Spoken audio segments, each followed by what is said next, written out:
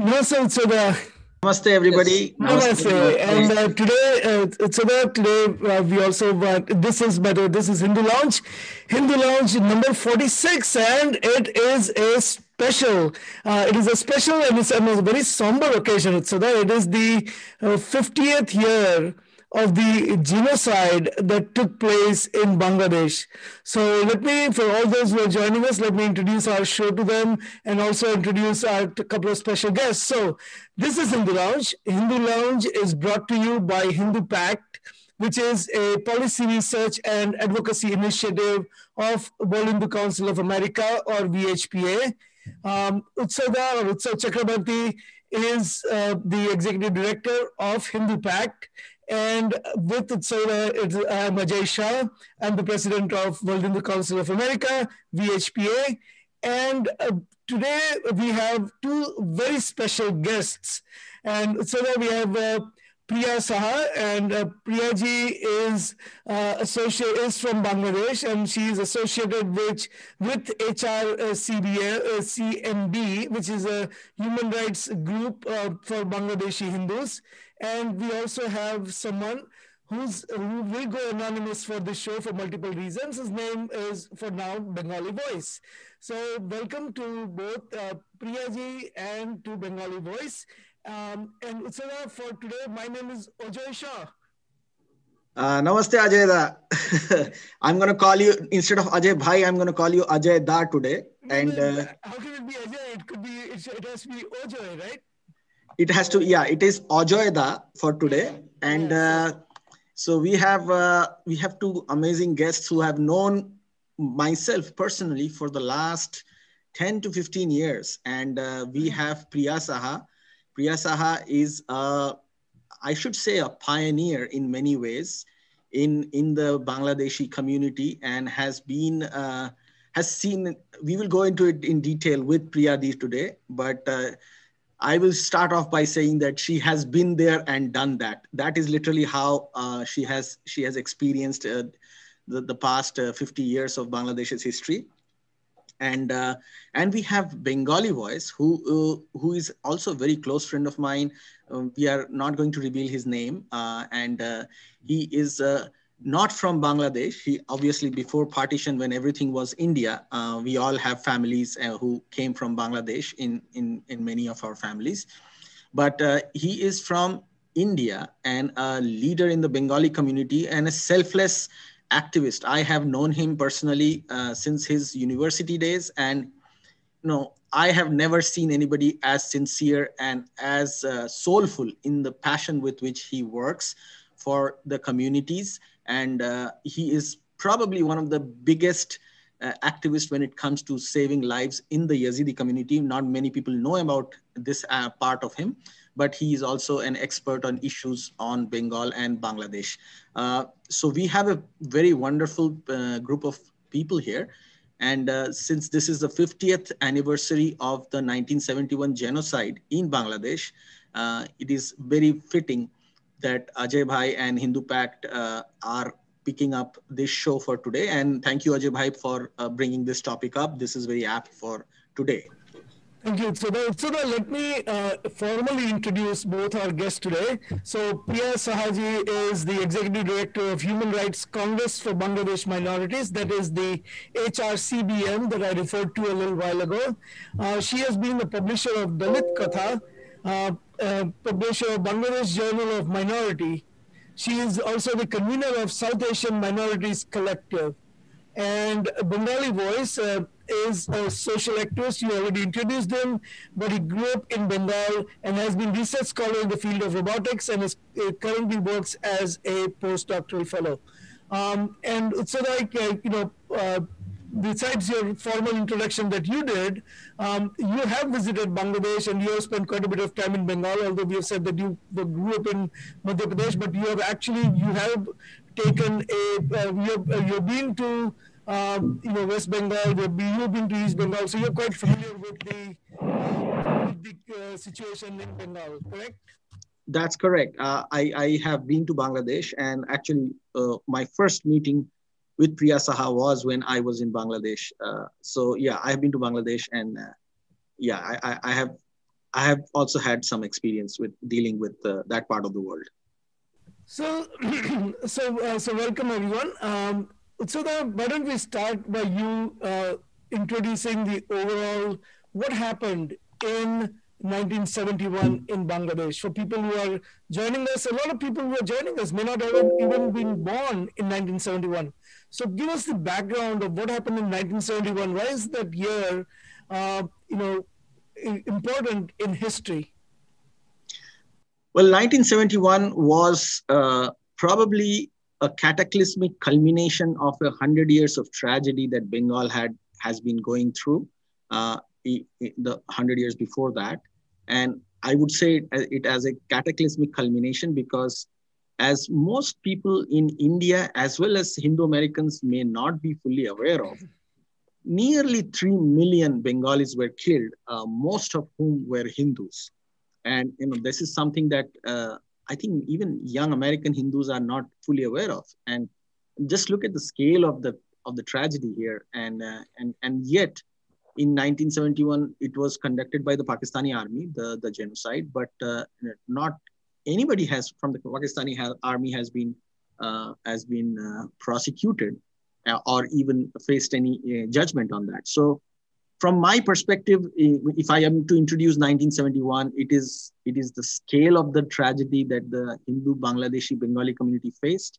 It is the ignorance of the global community in terms of the magnitude of the tragedy, and it is the impunity with which Pakistan has has gotten away and, and Pakistan's radical Islamist collaborators in Bangladesh have somewhat gotten away without paying the price for the crimes, the heinous crimes they committed against humanity. And I think today, uh, both Priyadi and Bengali Voice will be able to shed more light on the scale and the and the ignorance that that follows this tra- tragedy. So, um, Priyaji, let me uh, let me invite you to uh, share your thoughts. Uh, you were, but you uh, you were in Bangladesh in 1971, correct? Yeah, I was in Bangladesh, uh, then uh, the East Pakistan. Uh, I was at then at six years old, so I can remember many more things. And you know, after um, coming back and lifelong, my parents share all their journey and every time. So that's make my memory stronger. My relative, my villagers, everyone um, continuously they share their story, and so that is um, many things is vis- visible for me uh, because you know the in the childhood memory is very strong. You cannot uh, erase anyway. If you think yourself, every moment you go back uh, your childhood. So I can remember very strongly what happened during that time. So give us give us some uh, give us some uh, memories there, or share with us some memories that you have. What what did you remember? What did your parents tell you?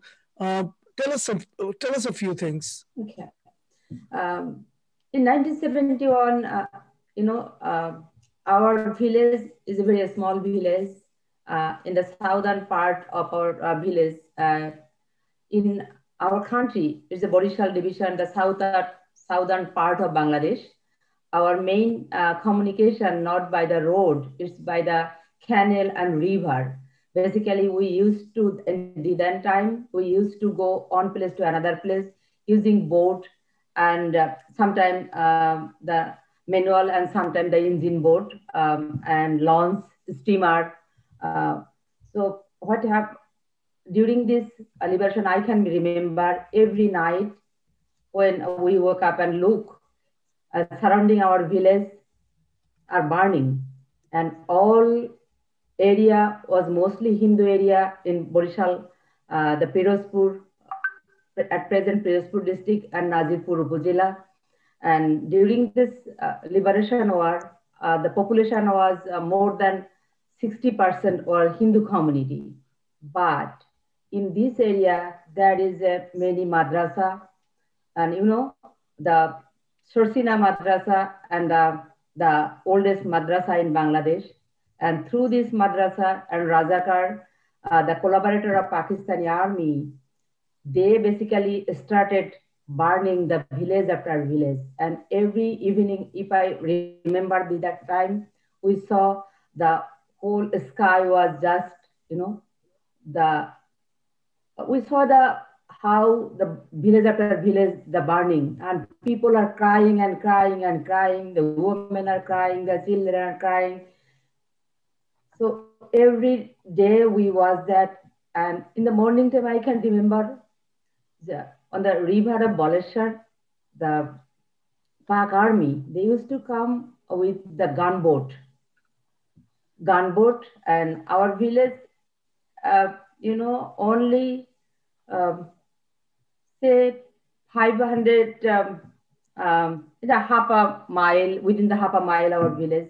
So they mercilessly, they just open fire to the villagers from the gunboat and how Muslim said them. Muslim used to, uh, in the uh, river side, they stand up with uh, the cap, the Islamic cap. And so they, the army can understand this is the Muslim village. So army didn't fire, the gunboat didn't fire the Muslim village. They fi fire, open fire to the Hindu village and Hindu area. And they killed. And, and we just when we hear the noise of gunboat, as a children, my mother and all, we just lie down on the floor so that the fire can, can't hit us. After, uh, after within a month, maybe uh, in April, my elder brother, he just went and my four uncle, they start um, they went to India to join the um, freedom fighter Bahini, uh, freedom fighter team to get training. And he was he was at that time a student of class uh, in the 10th grade. And from the that day, our family every day we are cried. We have a session in crying session in every evening. My mother and we were talking whether my brother is alive or he killed, whether he reached to India, he is getting training or not.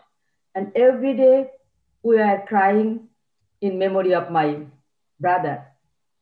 Then after, after leaving my brother and four uncle to, uh, to India, all the uh, surrounding areas, the Muslim Islamists, they become very angry on our family and they inform the Pak army, the people are leaving to India and this area is very, um, you know, the Hindu are uh, getting ready to uh, protest. So on night, uh, the uh, Muslim group, 45 to 50 person came to our house and called my father. My, our forefather was landlord, so my father was a community leader. And they came to only our home and called my father my, baba, my father name was Nagendranath Biswas. Um, and he, uh, they called uh, Nagin Kaka came out. We have it. We want to talk with you. And my mother understand they may kill my father. And my mother came out. She was so brave. I can't explain you. And she came out with a, um, uh, you know, uh, with a knife, but very strong. The Kali used. Uh, uh, we saw the a big, uh, you know, the knife, uh, or we call in Bengali da. Okay, if you want to talk with him, first come and talk with me. Then um, they're afraid. Then they're afraid and uh, you know what you want to talk. Then uh, the Barek Mullah, he called. Within the, it was at, you know, we were sleeping and when they come, we woke up and Barak Mullah told and all other that they are shouting, you have to leave this village today night. Otherwise, tomorrow what will happen, we don't know. You can understand. At 10 p.m., they came to our house and ordered us to leave the village. And there was, I told you that no car, nothing. We, we used to use the boat then they went and my father called the villagers. There was 40 family and asked them, we need to leave today within short time, otherwise they will kill us. They honor me, that's why they told, I honor you, we, we honor you, you are our leader, so you have the opportunity to leave this village. Before that, I can remember, before two days, those people are used to work in our house. We were eating, and my mother is the last person. She was uh, start her eating, and our worker, our labor, come to our house and they take all the utensil. You know, we use the brush, glass, and plate, all the valuable things, and they take in all this brush product and utensil, all the things, and my mother cannot finish her eating because they just throw the plate food and taken the plate because plate is valuable, you know. It has resale value. So my father called them and get prepared within one or two, one hour or two hours, and they bring some boat and just with some cloth you can understand some ornament and some cloth. We just start all villagers together journey to India. And yeah, and we didn't take anything, not, not a single villagers. And it takes, when I, I cannot remember which was the first station, we just through whole night we journey towards it takes 14 days time to get reached to the Indian border. And on the way, I can remember on Kalidao River in the some, some place in Magura, we just cross the river and all we get bath in the river and all clothes we for, you know, people just uh, keep their clothes for drying to sun, sunlight.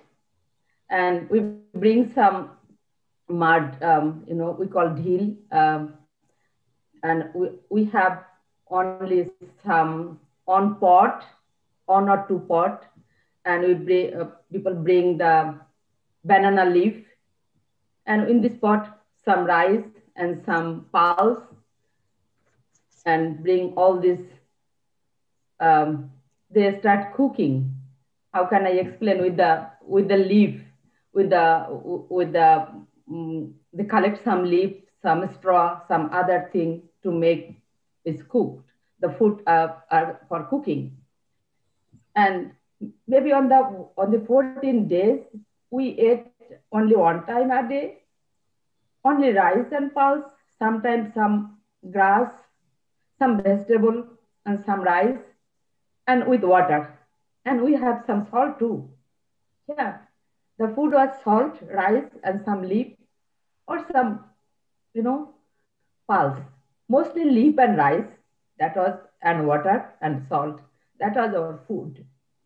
And on the way, we saw the either it was a rainy season in our country, it's the soil is easily it's make the mud and you know up to knee it's Uh, down. It's very hard. We do not have any rock. We do not have any our land is different time type. So on the road we walk on the side. It was very tough to walk and on the way most of the people their relatives or are the old parents and grandparents you know, they cannot walk. And the children, they cannot walk. In my family member, my we were my young younger brother age was 10 months. I was around six years, and my middle my second brother, he was around 10 years. And my mother and my father and my grandmother and all relatives so you can understand what we can take in our hand. I fall down many times in the road because I cannot walk so long. And my father want to hold my hand. And my mother, she always kept my brother, the 10 month old brother in her lap. And in this way, and my my second brother, he was capable to walk because he was 10 year old. And we saw many mothers, many father, many old people. They cannot take their parents. They keep them in the road and give some food, sometimes some bread or some rice. The the older people, the old, they are waiting and crying. We want to go to India. We want to live. But their son or their family member, they cannot take these old people because how they will take them? They need to take the, they need to go themselves and they are young kids. So many that I have seen, I can remember the one woman, she was just trying to scrolling to want to she want to go India to save her life. But many where I have seen they were just died in the roadside, they just fallen. And many young boys, mostly those are on the when on the journey, young boy were killed. Mostly they do not allow to go young boy to India because the army know this young boy will join the freedom fighting team. They just came and take away the young boy and shoot. And in the roadside, many, many, many, the dead body, where it was so, how can I explain? The dead body was, uh, is a bitter smell. Dead body you can show when it's uh, uh, rotten, then what happened? So in this way, we we are starting to go. I can remember the last day, the cantonment of Jhenaidah, Kaligons. We need to cross this cantonment area. There was a road. And before that day, we were in a village home. They left this house. We didn't eat whole day. We, we couldn't manage any food because this is the last day we will go we, we are very close to indian border we will go there and we will have food so we are just waiting when the night will come our journey was started after 12 p.m say 12.30 because people this is the time to leave bangladesh uh, to cross the army camp because army was sleeping so this was the thing, they, they will sleep and we'll cross the border. And this area was so bad road and the, it was raining in the night and I fall down, I can remember six or seven times. Just I'm walking two or three steps or some step and I'm falling down. And whole my whole body was with mud and my father was trying to clean me with the hand and he started walking again and in the in the morning time we just reached to the indian border. Then we clean in the we get bath in the river. And then we went to the bonga how we went i cannot remember. And from this Bonga, uh, was a railway station and track is coming on after on, track is coming and people, they're just, just like a product, uh, you know, rice or pass any other thing. They're taking the people and they're putting them in the track. And one track go, going to Mana camp, another track going to another camp, one track going to Labonrod, so people's family are splitting. Sometimes one family member went many more places. Then we leave from that place. My mother, my auntie, my Mashima, she was in Beleghata Bonga. We were in their house. How we went there, I don't know. And there was, we were three months with their family. Then they cannot afford us. We, my family then went to Murshidabad.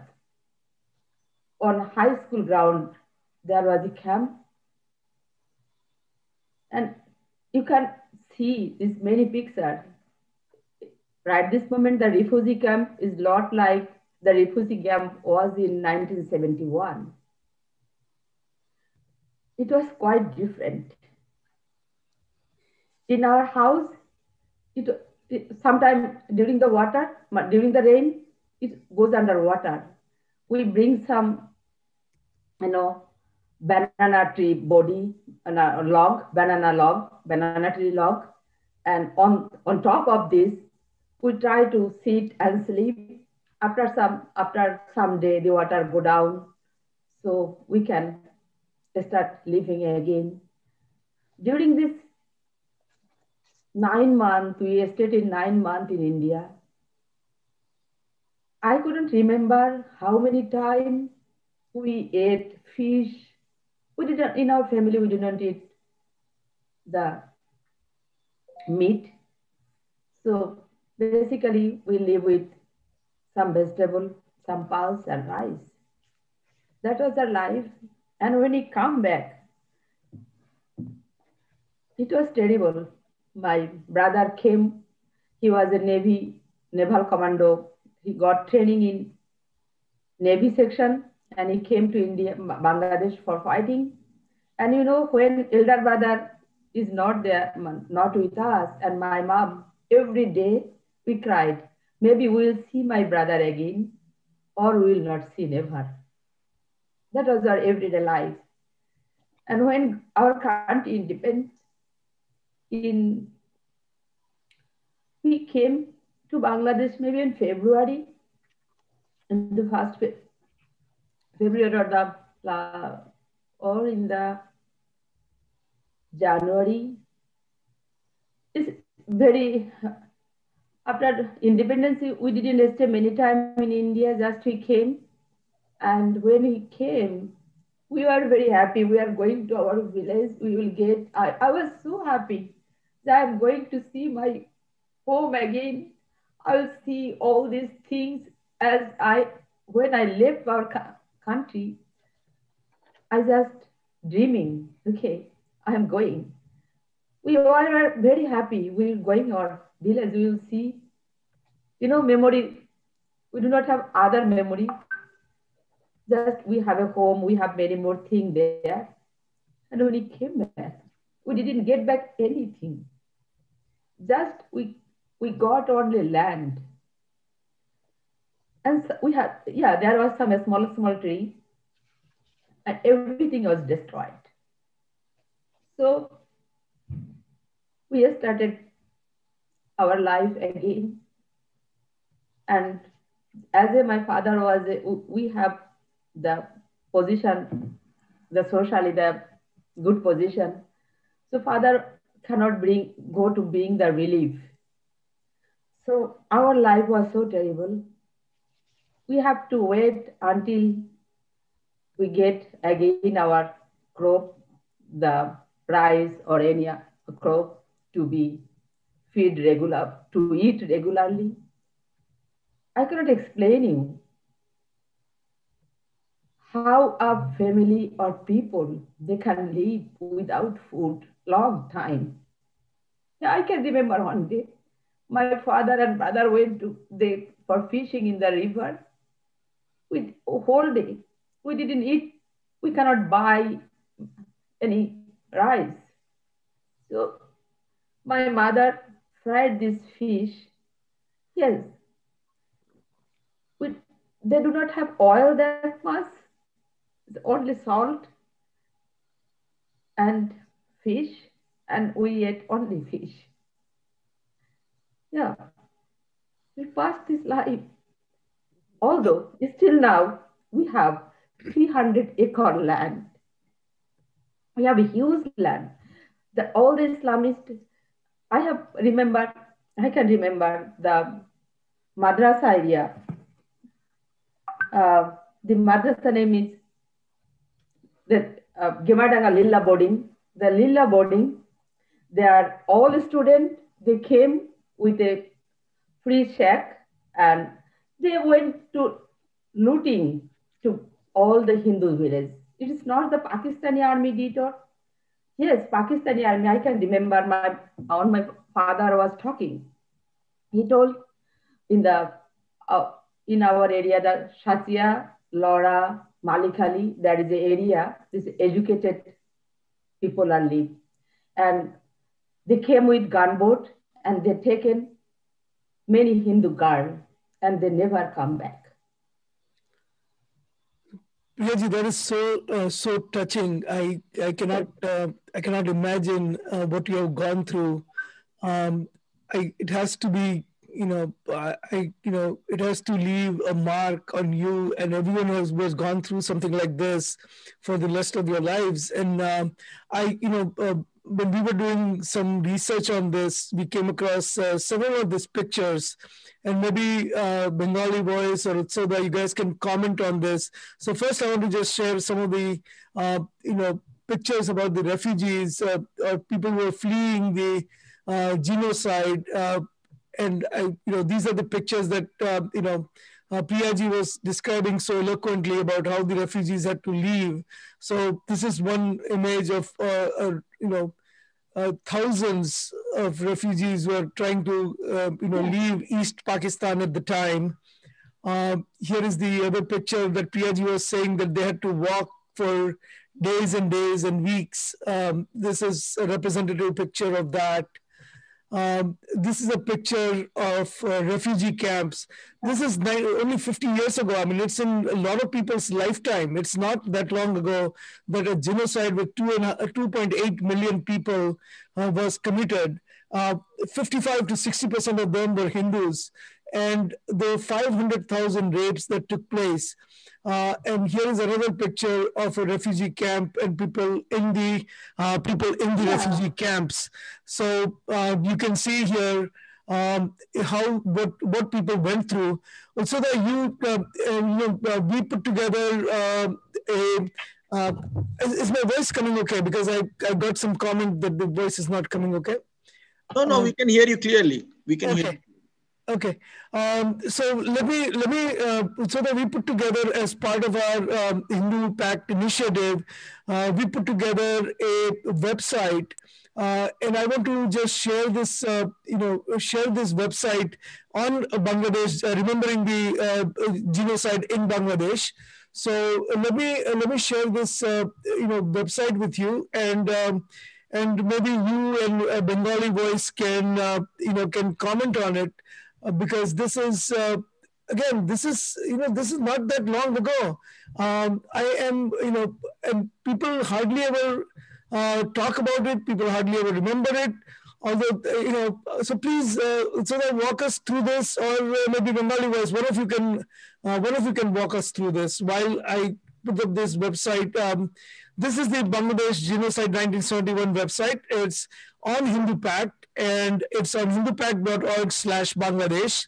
And you can see some of the pictures, gruesome pictures of people uh, who have been rounded up by the military, people are fleeing, people who are looking at all the bones that were uh, collected at some point, uh, all the people, the death and destruction that took place, and the bodies just thrown away. And PIG was so eloquently describing the way the women were abused over there by uh, Pakistani armies and their collaborators. And, and so there's also a link to the article. There are a lot of uh, quotes, and some of them are from journalists, some of them are from diplomats, some of them are from um, from actually one of the Pakistani generals who, uh, who said at that time he was not a general, he was a lower ranking officer, official who said how he was ordered to actually single out and kill uh, Hindus. So, and then there are uh, excellent posters that Utsava you put together. So, I, while we have these pictures and quotes on the screen, Utsava, why don't you or Bengali voice, one of you, uh, kind of go through, uh, you know, go through some of the details. And we heard, uh, you know, nothing tops the uh, personal narration uh, that was given by Priyaji maybe you can fill in some uh, some details, uh, you know, as to what was discovered later, how many people died, things like that. Well, yeah, Ajay, that, uh, thanks for uh, bringing me in. Uh, it is a deep honor. Uh, and Priyadi gave a very moving uh, personal narrative of uh, what she, she, and the entire community had to go through, the entire Hindu community in Bangladesh. Um, now, if we try to dissect what really happened, uh, then we realized that uh, the December 1970, when uh, Sheikh Mujibur Rahman he uh, and his Awami League uh, uh, party had a possibility to form the government. He was refused. Uh, he even he had the majority, but he was refused by Pakistan to form the government. And then Pakistan realized that maybe a lot of um, Hindus are supporting Awami League, and there, thereafter they decided that they will get rid of all the Hindus in Bangladesh, and uh, the rest they will be sent back to India. So and they got real support. They got support from lot of uh, lot of islamist organizations uh, both bengalis and non-bengalis. Um, and uh, these islamist organizations were uh, supporting in their genocide act. So this really began on 26th of march 1971 with operation operation searchlight and in Operation Searchlight, the idea was uh, how to uh, systematically get rid of the Hindus, first the intellectuals, and uh, therefore they went uh, after the Jagannath uh, Hall in uh, Dhaka University, where a lot of a lot of students were rounded up and killed. Um, then a lot of intellectuals were rounded up and killed, and then they uh, went uh, after Ramna Kali temple and they uh, bulldozed it and uh, destroyed the Kali temple. Uh, thereafter began. No, no, sorry to interrupt. That was one of the biggest Bengali, biggest Hindu mandirs in Bangladesh. exactly, exactly, exactly, correct? exactly, yeah. exactly. Yeah. So it was, it was, you know, you go after the spiritual soul of the community and you try to destroy the spiritual soul of the community first and then the entire community collapses. That was the basic, idea. So uh, once they did that then they went after uh, in the in the countryside. It happened in Barishal, it happened in Kumilla, it happened in Sylhet, and it happened in many, many, many other places. Uh, the goal was to uh, systematically uh, kill the Hindus um, in thousands and hundreds and thousands. Um, this was uh, one of the methodologies they had adopted uh, was to put a H sign on the Hindu homes. And um, then uh, they could uh, they, they could unleash um, the local militia, the civilian militia, which they had formed, and they formed the Al Badr and the Al Hasma, and uh, uh, basically a lot of Islamist uh, organizations. They had active support of the Jamaat Islami to kill the Hindus. And then if we try to see that what was the reaction of the international community, uh, and the international community was, uh, uh, if we just listen to what Senator Edward Kennedy, who was a very senior senator uh, in US, and he had um, he, he had uh, mentioned that uh, on the 1st of November 1971, he's saying that the hardest hit has been the members of the Hindu community who has been robbed of the lands and shops, systematically slaughtered, and in some places painted with yellow patches marked H. All of this has been officially sanctioned, ordered, and implemented under the martial law from Islamabad. More than 60% of the Bengali refugees who fled to India were Hindus. It has been alleged that this widespread violence against Hindus was motivated by a policy to purge East Pakistan of what was seen as a Hindu and Indian influence. So uh, this was uh, this was by Kennedy, and then there was a uh, Pulitzer uh, Prize winner uh, uh, journalist named Sydney Schanberg, and um, it's in a it, it's mentioned uh, uh, by him that the Pakistani slaughtered um, and uh, the Pakistan, the Hindus in the southern district of Barishal in one day, according to another press meeting was called in northeastern Sylhet. Later, troops arrived and from the uh, from the gathered crowd, selected 300 Hindus and shot them dead. So this is about the men. Now, the Jamaat Islami declared, along with the Pakistan army, that uh, this whole uh, all the Hindu women are public property. And therefore, what started was, for example, they would go to a village or city, uh, and then they would uh, uh, open the artillery on the uh, hospitals, and all the um, whole whole city is in total chaos. They would separate out the women and give it to the Pakistan army for uh, raping them, and in thousands. And so 200,000 to 300,000 is a number that is usually put forward by the international, uh, by the uh, international media of the women, Hindu women who were raped. Uh, but there is a very interesting, um, uh, there is a very interesting comment by uh, one of the doctors who uh, went to from Australia to treat to for abortion of the Hindu uh, women who were raped. And um, he mentions that this 200 to 300,000 number is, uh, it is uh, just a misnomer. It is, uh, it is not uh, correct. Uh, there is an underestimate of, underestimation of what really took place. His name was Dr. Geoffrey Davis and uh, he said that 200,000 to 400,000 rape victims are underestimation on the actions of the Pakistani army said they kept the infantry back and put artillery head and they would shell the hospitals and schools.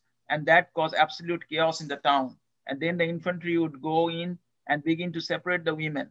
Apart from little children, all those who were, um, all, uh, all the women were taken in and women would be put in compound under guard and made available to the troops. So that was the kind of barbarism that we are uh, witnessing here. So this kind of age rem reminds us of what the Jews had to go through. Um, in uh, and it, it's said that um, uh, General uh, Tikka Khan. So this was taking place under General Niazi. General Tikka Khan was another very senior uh, Pakistani uh, army official who was called the Butcher of Bengal. And uh, they are all uh, citing one after another Pakistani uh, Pakistani documents saying that the aim is to rid uh, Bangladesh of the Hindus. They are the problem makers. They are. They, we want to purify the land. Kind of, you know, that kind of uh, statement is coming out. Um, now we also have to realize that sorry. what impact it was having in West Bengal, because that is where uh, it is just not a genocide that impacted the Hindus of Bangladesh, uh, but the Hindus of West Bengal uh, received some around 10 million Hindus uh, coming as refugees with nothing. Um, so uh, what happened um, really, and I've heard it many times from my parents, that um, the once these refugees came, they had to be given jobs, and uh, the factories in West Bengal had to provide them jobs. But there are many people in a demand supply situation of economics, we know, that when there are many job seekers and there are few jobs, uh, that people, a lot of people, a lot of jobs uh, don't are not very high paying then anymore because there are many supply is more. And then once you have these jobs as very low paying, you can't even feed the family of many. So trade unionism became rampant. And one trade, once trade unionism became rampant, the uh, they were they were targeting the officials of the company. They were targeting. Uh, they're closing down the company, and then the companies themselves had to be shut down, and uh, they had to be relocated elsewhere. So businesses started moving out. Uh, then, uh, because there were many hungry stomachs to feed, communism became uh, rose, and people were targeting anyone who had land and so it was it was an imaginary situation of class divide that uh, took over. And so Hindus went after against Hindus. So it was it was the loss, the biggest loss was for the Hindus of West Bengal. So, so let, me, let me interrupt you just for a second because I, before I move on to the uh, situation that exists today, I just wanted to, uh, you know, uh, uh get Utsada's uh, take on what has been said so far, and then we'll progressively kind of uh, move towards the towards what happened, and you kind of just already got us started on that. Um, but uh, before we go to today's situation, right, uh, and how we how we ended up where we are today, and we're going to get there in just a few minutes. I want to uh, I want to uh, find out. Um, uh, so, uh, sort of what happened to the perpetrators of the 1971 uh, genocide? I mean, the, there's this Pakistani army involved, and uh, we have already made uh, references to General Tikka Khan and General Tikka Khan and General Niazi. so, we've already talked about it. What happened to them, and what happened to the other soldiers? in 1971, 100,000 Pakistani soldiers actually surrendered to the Indian army were there any repercussions on them? Were there any repercussion to the uh, jihadi collaborators, uh, the uh, who were called Razakars? Uh, did they face any consequences?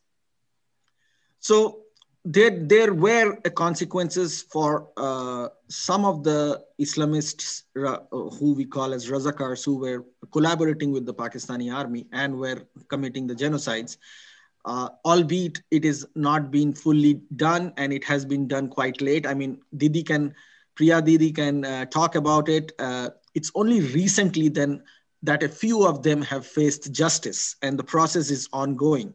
But what is very bothersome and what is really worrying, and the world global community needs to really uh, put its act together on this, including India, is the fact that almost 90,000 Pakistani uh, uh, military forces that were uh, surrendered, who surrendered to the Indian army, were all let go because the crimes they committed was uh, in in those days, as India put it, was not against Indians, and therefore they really got scot free for the genocide of three million people. I mean.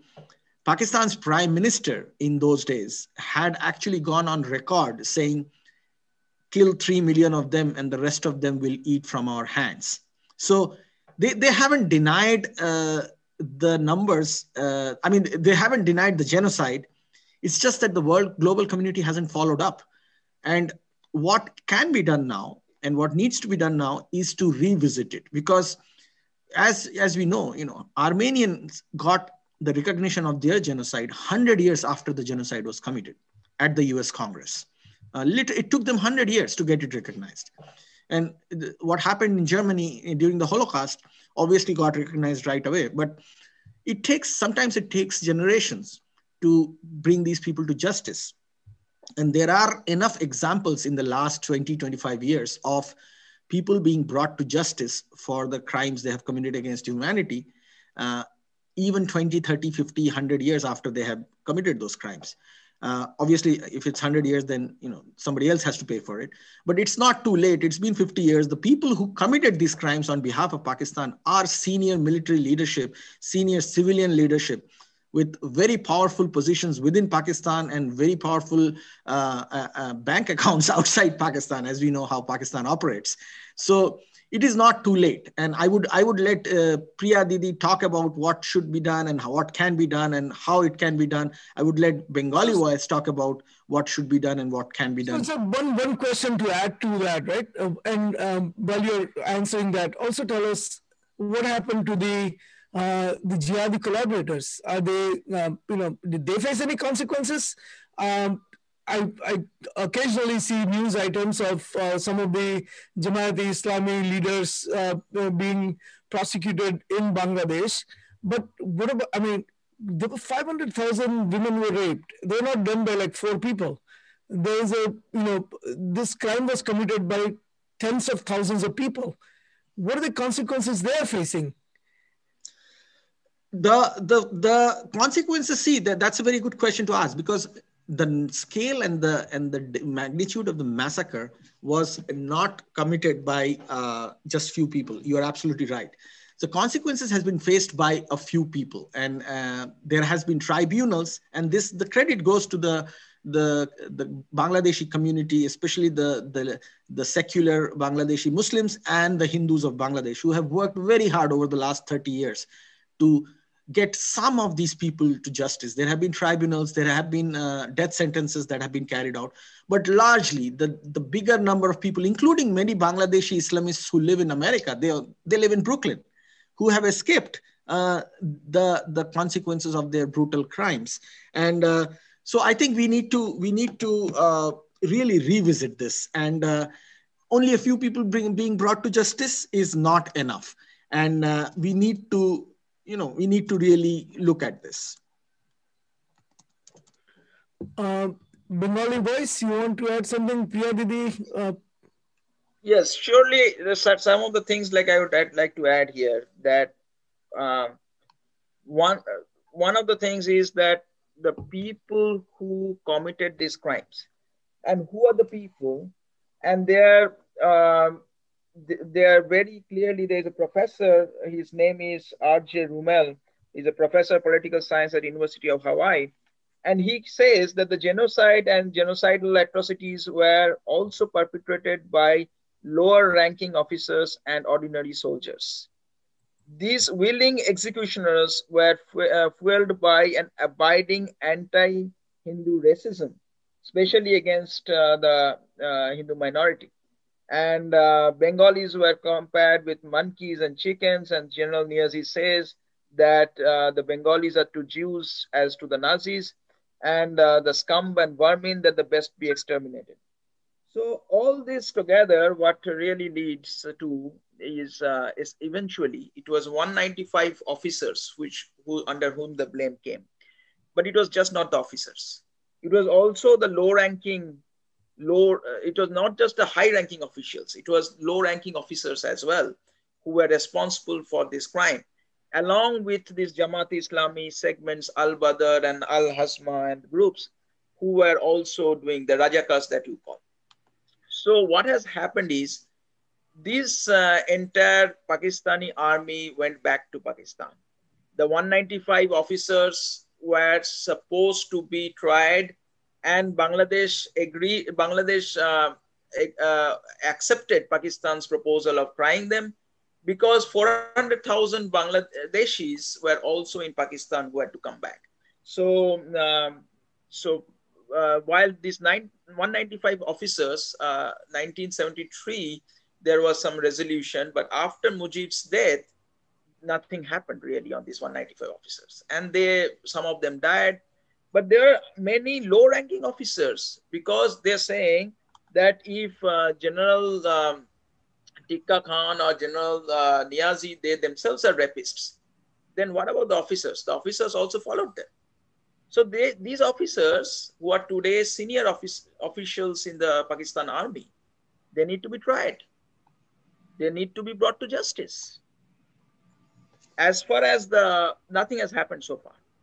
As far as the uh, local Rajakars, uh, the uh, collaborators, some of them have been tried by the Bangladesh uh, government because they were also involved in uh, cases related to Mujib's murder. And uh, some of them have been put to death sentence but there are very few that have been done. I mean, the scale was massive. In fact, you know, the, the Guinness book says that um, this was the uh, th this was the uh, fourth, fifth largest, um, fifth largest uh, mass uh, genocide uh, in the 21st in the in the in the history of Asia, and um, so uh, all, all this is uh, very important that we uh, provide justice to those who suffered. And the only way we can do that is to essentially uh, put to trial the uh, large sections of the Pakistan army uh, officers today who were essentially responsible for this genocide, and the rape and the atrocities. Mm -hmm. So uh, this, uh, yeah, so this is where things stand today. So, uh, Priyaji, do you want to add anything to this? Yes, um, I want to add. Uh, I just told my personal story uh, because this is the genocide month. Um, yeah, we need first the trial of the Pakistani army who start killing and they killed the innocent people. You know, it was not the war time. It was nothing. These people uh, they didn't die during the war, not that. They just start killing on 25th March and they start killing on the Hindu community. The Jagannath Hall, the Shankhari Bazar, most of the area and the Shankhari Bazar on the single day, uh, on the on the 25th and 26th, they killed um, 100,000 and most of them were Hindu because they wanted to stop, but because the Hindu were the educated Still now, Hindu education rate is 10% higher than the other community. And then in 1971, it was mostly Hindu were the, they were the school going and uh, they are the educated community. So educated community know the, they fight against the communal force. Um, so that they start killing the Hindu community, the educated community, the intellectual community. So we need to, what we need to do, we need to bring to the, um, in the light, in the, we need uh, the recognition from United Congress and UN and EU from all over the world when we will get a recognition. And not only that, we can we need to go each and every state to get recognition and every city corporation municipality in the USA. So to get, first we need to get recognition the genocide and to bring the culprit, the who without any, you know, without any crime and without any war, they kill the innocent people. So they have to bring under the trial. And they killed and the, communal force still exists not only in Bangladesh, they are working still now, they are working across the world. They want to destroy the civilization. So these criminals are not, nobody will give them shelter because everywhere they will do the same crime and this crime cannot be continued. As a, as a human being, we need to stop this crime, we need to stop, uh, we need to make them weaker, we need to uh, bring under trial if we have to um, survive. The world uh, need to survive and grow. And with this criminal, with this culprit, with this killer, it cannot happen. So, in fact, uh, it has gone the other way, right? What is the uh, uh, so? Uh, so let me ask you this because you study these things. How many Hindus are left in Bangladesh today? Yeah. So, so it is it is about uh, ten uh, percent of the population right now. And what was it in 1971? Or 19, less than 1969 or 1970? Oh, it was in 74. Uh, we were uh, almost 19 percent, 8.7 percent, 18.7 percent before the liberation war. I can give you a calculation. And that calculation is uh, the how uh, the 27 2.7 million Hindu were killed during this liberation war. I have a calculation. In 1971, the population was uh, 9.4 on uh, million. And it should be in 19, uh, you know, uh, in 1947, the population should be uh, 13.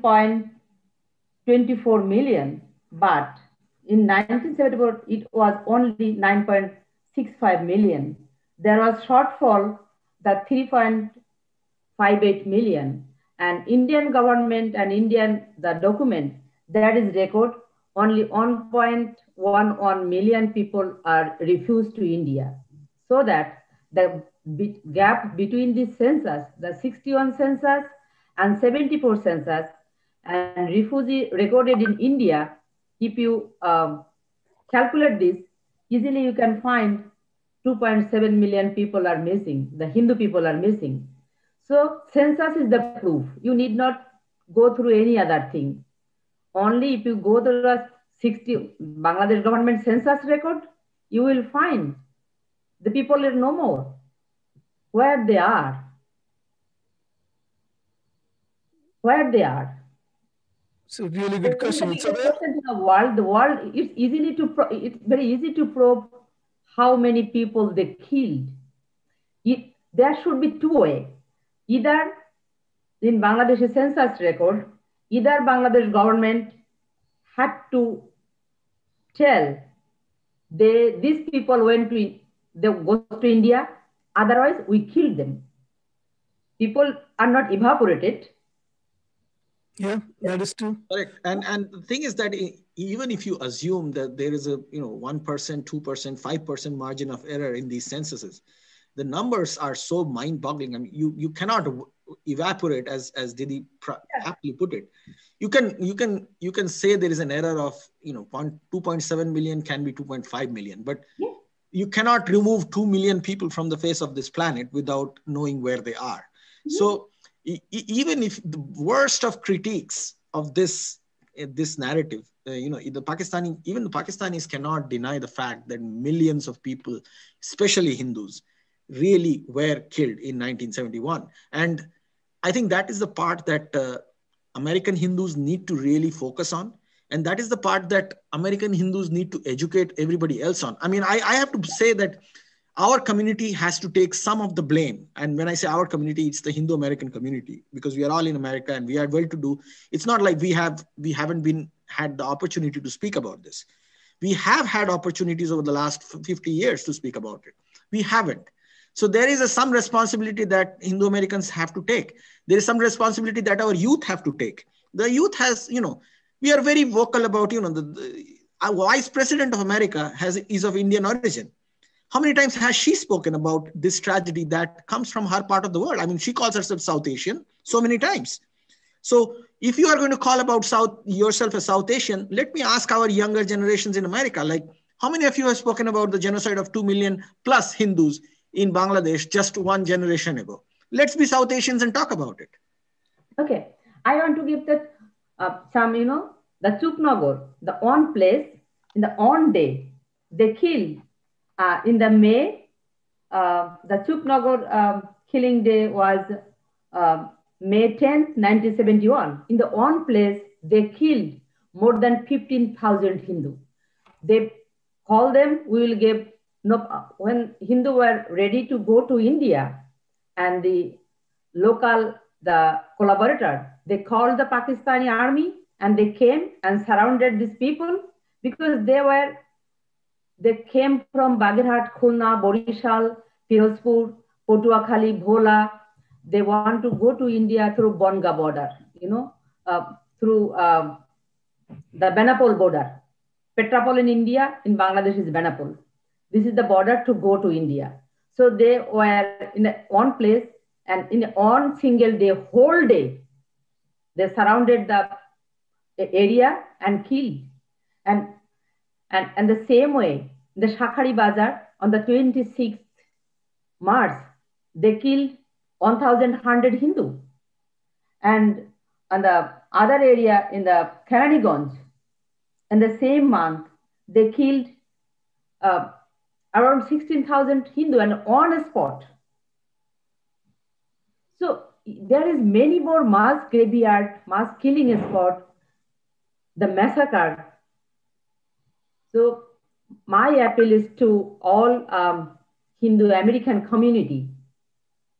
I have all this information.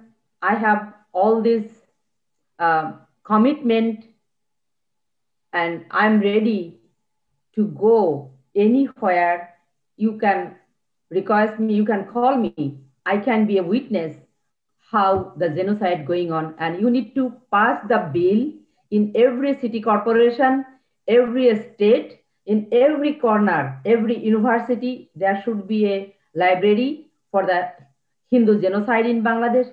And I am I want to talk one word. When uh, 100 crore Hindu living in India, how dare Bangladeshi and Pakistani Islamists, they tortured and killed every day, and Indian Hindu and the world Hindu, the American Hindu, they are not talking a single word about this. How? Are they human beings? Do they think they have some responsibility for the world? We are human beings. This is not a crime being a Hindu. You are talking for Palestinian people. You are talking for any on single things happen in India or in Kashmiri people. You are talking in all other people for European people. You are crying for Rohingya. Yes, I am crying too for Rohingya. What happening? But they are 25,000. They are demanding. Also, they are very terrorist outfit among this Rohingya community. But the Hindu community of Bangladesh, we do not have crime report. We do not have a single terrorist. We do not have any bad record. We are the educated. We are the custodian of Bengali Hindu culture and history. So my appeal to all Hindu American community, please save us. Please work for humanity. Please work for preserve the, our heritage. We are the son of the soil. Where we go, still now almost 20 million people are there. Please help them to stay in their own country. Hmm, so really you, good. Boys, you are so strong. You are American Hindu community is the largest educated, talent, cultural, and wealthy community. And they are well accepted in America. If they talk, if they try, you, the community, can save us. Please, please so, don't.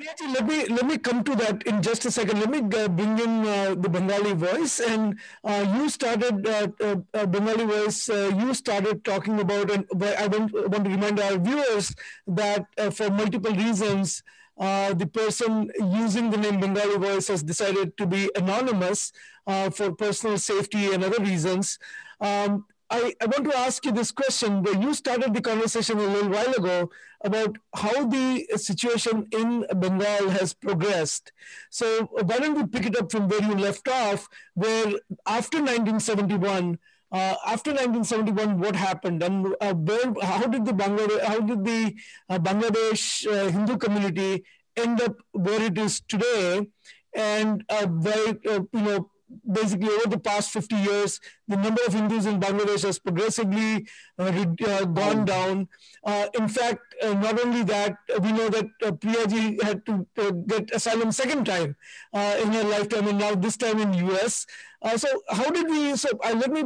so Bengali voice, tell us what happened to the Hindus in Bangladesh after 1971 and then uh, after that, uh, please chime in after the Bengali voice uh, gives his opinion. Go ahead, Bengali voice.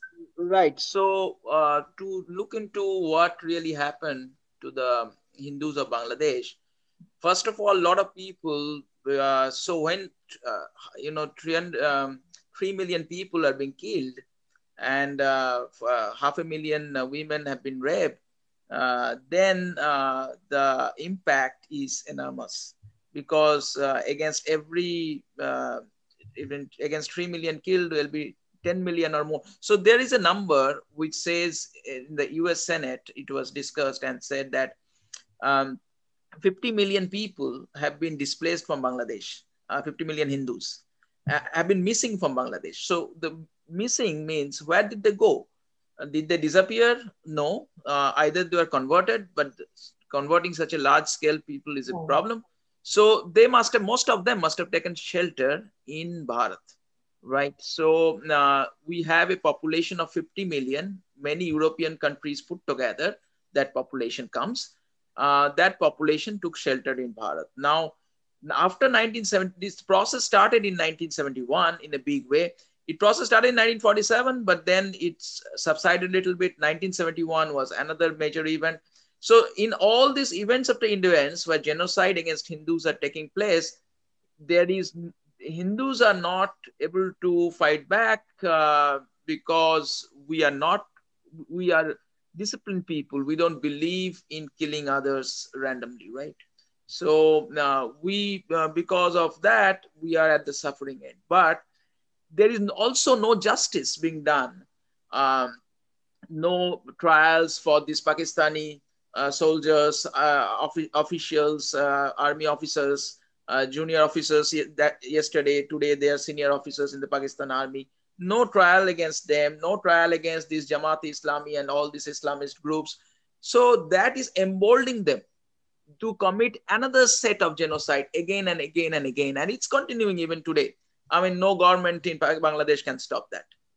So that process is, eh, eh, eh, so the numbers that we are seeing falling from 22%, 17%, 18% to all the way to now 7, 8%, that number, the 37 million people missing, which uh, Priyadi had talked about, that number is because this genocide is continuing. And now what's happening to West Bengal? The same labor problem that you had before, the same problem of land and issues that you had before. Now, why do you need CAA today? You need CAA because for 70 years, these people came to West Bengal. Where are they living? Next to the railway lines, in shanties. They cannot, if they are always in the fear of being deported to Bangladesh. If they're deported to Bangladesh, they will be killed again. You are a Hindu. And they cannot provide education to their children because they don't have the papers they cannot get the government jobs because they don't have the papers. They cannot own land. So you are living in a perpetual, you're entrapped, but at the same time, big credit must be given to them. They have not given up their faith. They are still Hindus. They still call themselves Hindus. So we have not acknowledged somewhere the fact that they have not given up their faith that is that is something we need to bow down before them and respect them for it that uh, everything has been destroyed. The economy has been destroyed for as i say, said the ways it was destroyed. Um, the political system was destroyed. The communism has come in a big way because you have to accommodate the some aspirations of the people on how they will figure out a living and communism never provides that solution.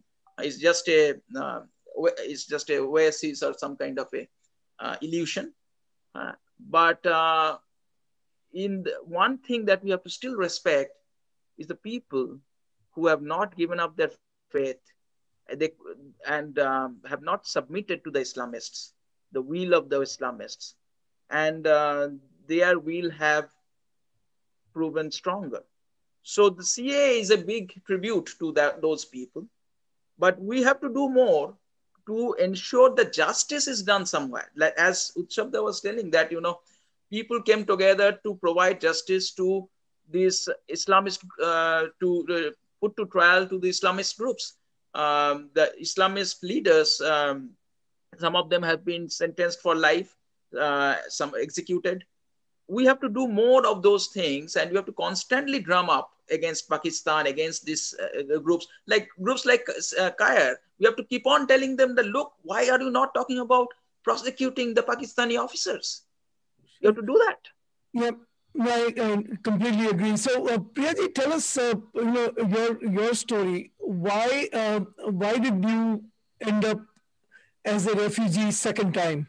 And this time in US. How did you tell us your story about how you how you ended up in uh, United States and um, why are you not back in Bangladesh? What happened? I came to join um, the uh, second ministerial to advanced religious freedom program organized by the State Department of USA. When was that? It was uh, 16 July uh, 2019. Oh, just a couple, not even two years ago. Yeah. Okay. And, and uh, what happened? Uh, I was uh, in a round table. I was a speaker. I came here only for two days and three nights. I didn't bring my, I, I bring only one luggage with uh, three shari and two blouse petticoat like this, you know. Just I came and I, I have to go back on uh, 19th uh, the July 19th at uh, my flight was 8.30 p.m. And I was just, um, and in this ministerial, uh, I was invited uh, as a speaker, and uh, my I was supposed to talk on 7, July 17, and I present my paper on 17 July, and there were, I got the opportunity uh, to talk um, with the president because um, uh, the participants were from 135 countries, among them uh, the victim, only uh, 27 people were, got opportunity to talk with president and we met him and among the 27, 13 people were talk and I was one of them.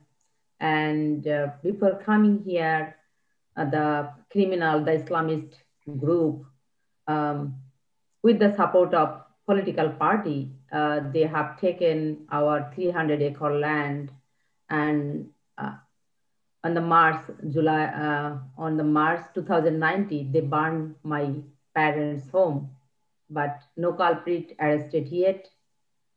So I talk about uh, this thing, the 37 million, the minority community missing from Bangladesh, and they have, I have lost everything. They have taken my land and they have burned my home. And this, I talk only 43 seconds with president.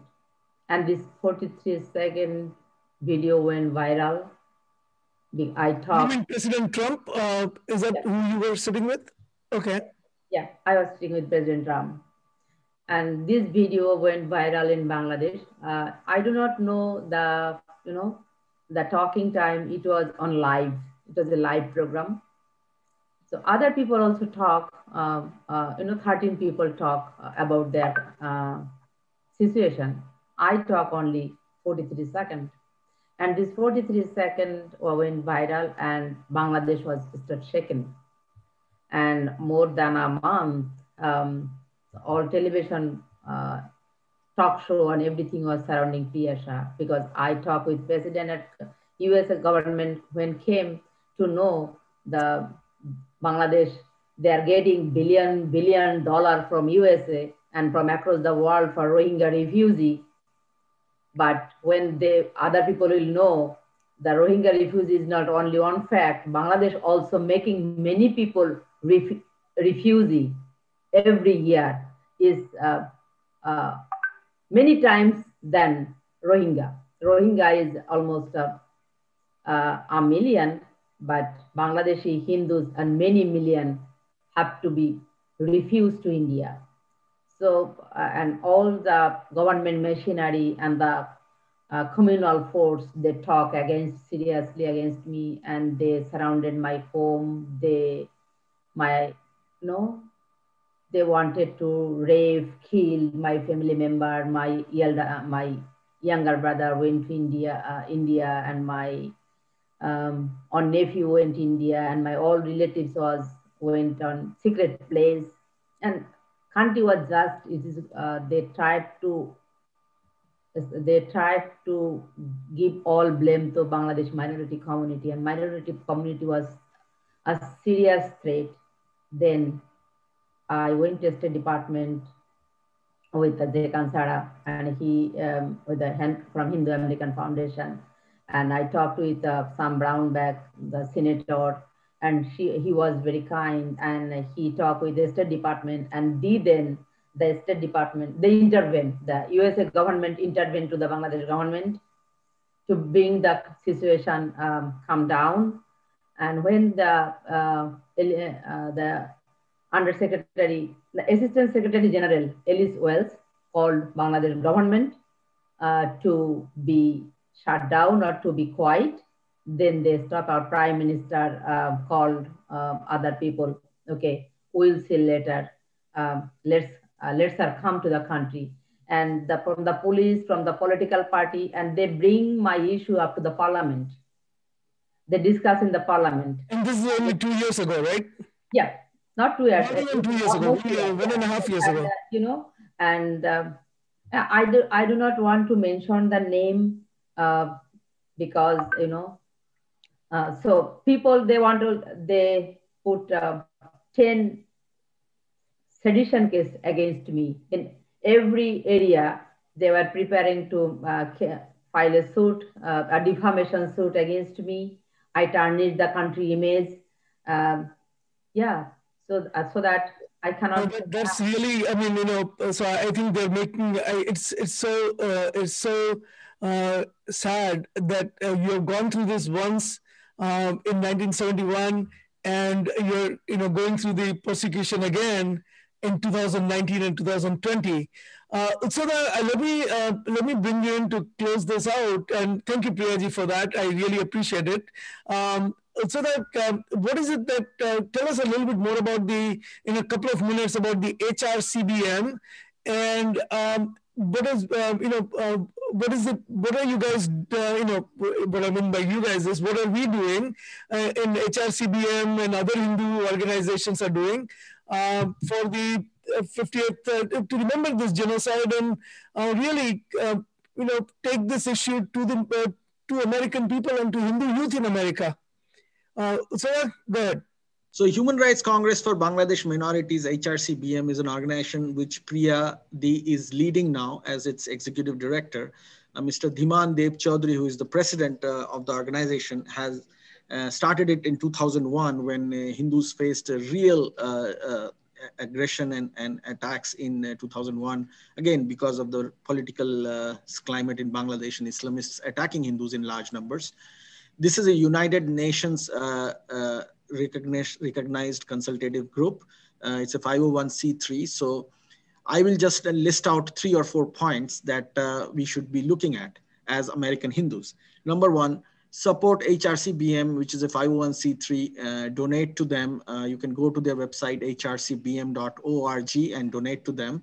They are actually coming up with a new website because this is a website that was designed in 2002 and, and it's been revived now on this 50th anniversary uh, of 1971 to uh, reach out to the community. So HRCBM. So I just want to add that HRCBM uh, was our Hindu Seva Act uh, or Charity of the Week, and uh, there are again our chosen Hindu Seva uh, Charity or Seva Act of the Week. So just wanted to kind of mention yeah. that. Uh, so in our, we will be we are, we are doing a special segment along the way. So please uh, go to hrcbm.org. Utsada, is that the website? Correct. And okay. it, it looks a little uh, dated because it's still the old website. They are working on the new website, but the mailing address, uh, the donation, and uh, all the details are correct. So you can also follow HRCBM on Twitter. It's uh, twitter.com slash hrcbm and you can get information there. You can follow hrcbm on facebook. Just uh, look up hrcbm uh, and you will you will be able to join the group. And uh, in addition that is point number one. Point number two is that organizations like hrcbm organizations like hindu pact and any other organizations that are interested hindu american foundation they're all working together uh, in many ways to come up with the uh, uh, outreach effort that not only reaches the American community at the city and grassroots level, but also the Hindu American community, which itself needs education on this. So on this 50th year of this genocide, uh, there is a project that uh, works on outreach on this effort. Uh, Priya Didi is working on it very hard. Uh, I have been putting in a little bit of effort on it as well. Bengali Voice has always been a, uh, he has been doing this every year, so this is not new for him. So this is something that we have to really go out with. Number three, we need to demand at the policy level that American lawmakers, uh, both at, at, the Congress as well as the executive level, apply Magnitsky Act on the Pakistani military leadership and thus make it uh, relevant that they pay for their crimes in 1971. If you need to look up Magnitsky Act, find out what it means. It is a good way to bring them to justice at least from the American perspective. Number three, I would want everybody else, everybody else who are, who's listening to us to bring this up at your community level. If you have connections in the local city, you have connections in the uh, state legislature, bring in a commemoration, uh, something official, you know, get a, get a day of genocide declared. This entire year is important. If your city council can bring a resolution on declaring Pakistan a perpetrator of genocide in 1971, do it. Do it. I know american hindus and indian americans have a lot of influence. Do it at your own level. Don't worry about if you don't know somebody at the national level don't worry about it. Bring it at your level. And that's with, uh, I think those are the three, four points I would like to bring up. So, so I, I want to bring up the Hindu phobe of the week as a regular segment, and it's very pertinent here today. Uh, and maybe I'll, I'll, play this 30 second clip and then have you comment on that. So please, uh, please, uh, uh you know, uh, be prepared to and and uh, you know, Bengali voice. If you want to add any comments to this, please feel free to. This is the Hindu phobe of the week. The minorities targeted in Bangladesh. This is a result of a Facebook post uh, take a look at this. So temporary camps of police were set up in the village for the safety of affected people. Earlier this week, thousands of hardline Islamist organization supporters had attacked a Hindu village. A mob attacked with a makeshift with makeshift weapons and vandalized 70 to 80 houses. They looted and ransacked many houses.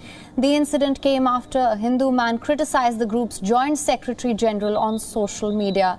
Hifazat-e-Islam leaders staged a protest against the Facebook post to bring the situation under control. Police arrested the youth the same night. So the comments on this uh, incident that happened in Bangladesh, Bangladesh doesn't seem to be a very safe place uh, for Hindus. What's going on? Right. So my thought on this would be that uh, uh, this genocide, which took in 70, 47, 71, and is continuing till today because these organizations, Islamist organizations, Jamaat Islami, um, and others, they are very strong. They, uh, they are able to commit these atrocities and there is no justice there is no justice uh, because we as a Hindu community are not able to build up enough international pressure so that we bring we ensure that justice is done. Uh, we when we are put on the back foot uh, with uh, uh, with uh, CAA. and CAA is something that is giving, not taking away citizenship of anybody. It is giving rights to these millions and millions of people living in miserable conditions, Hindus in India uh, who have been thrown out from Bangladesh and living in miserable conditions with no dignity, uh, with no uh, rights of their uh, right, uh, rights worth mentioning, and and in um, miserable financial condition. These people are being given rights by CAA, and we should celebrate it. We should not be in the back foot we should not uh, be worried about what CAIR and all these groups are saying.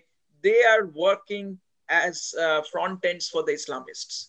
So we we should take up strong positions and say that these Pakistani army officers need to be booked, need to be brought to justice, and then uh, these Islamists need to be brought to justice.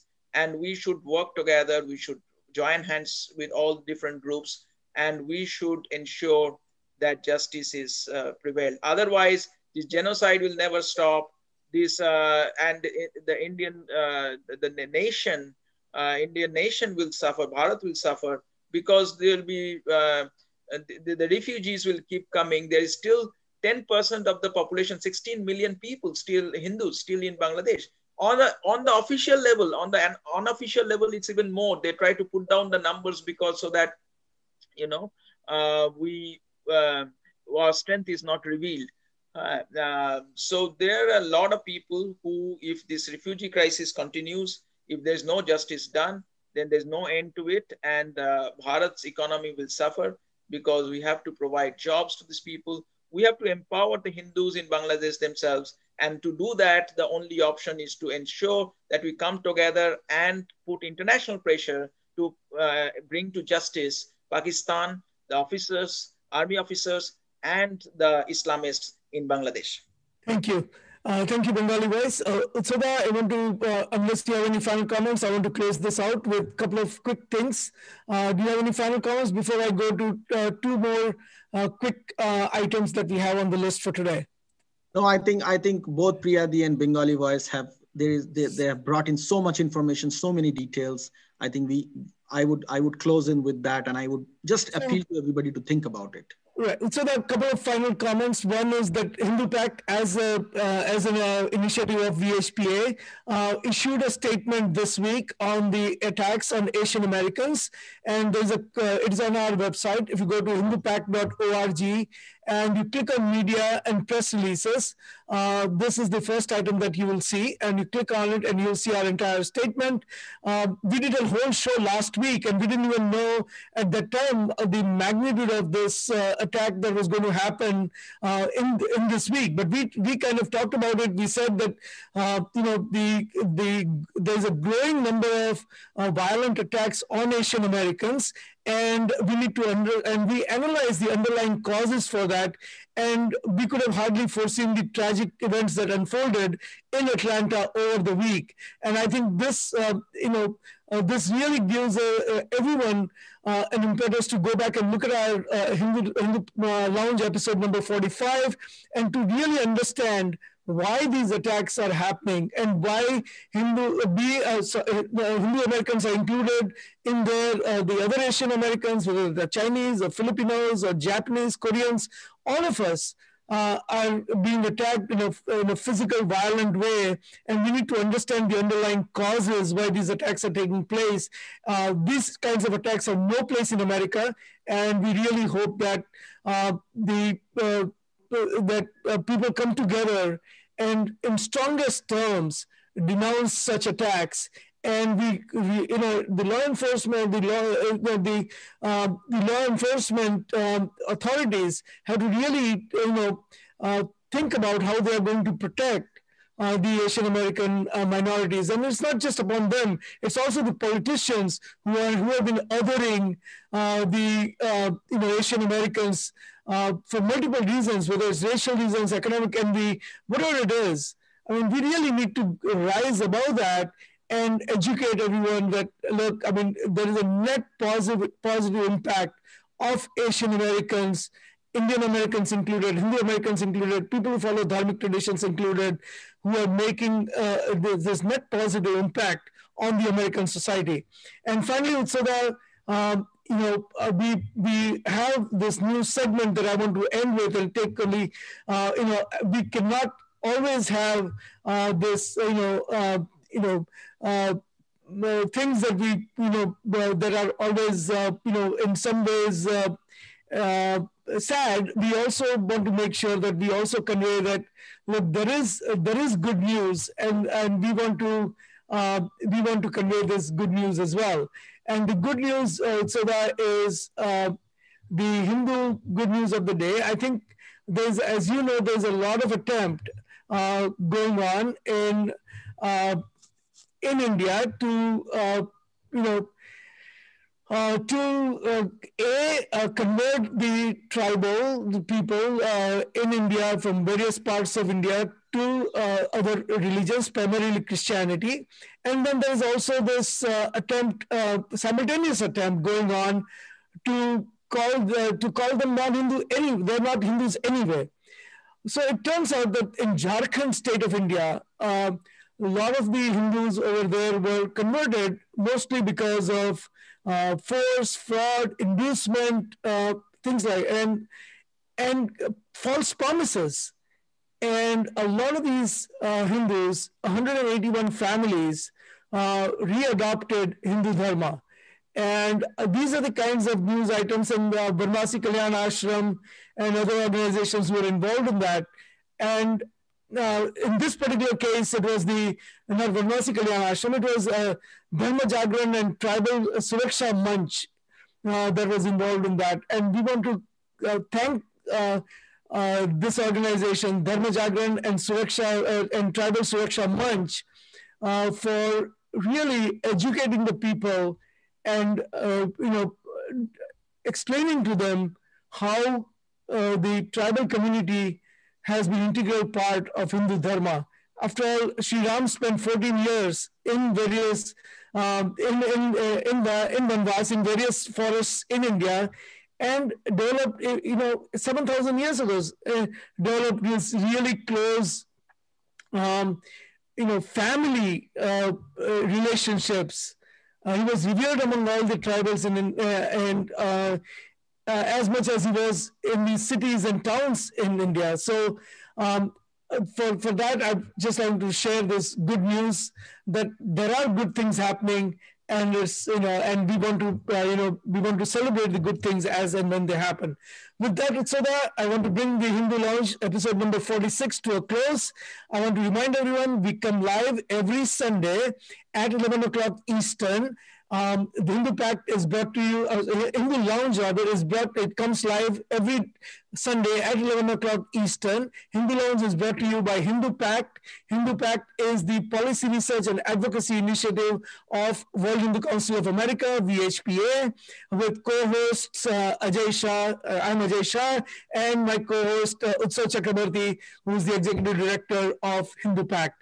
With that, I want to thank our guest, special guest, Priya Saji and uh, the Bengali Voice for joining us today and making this event very personal, very special.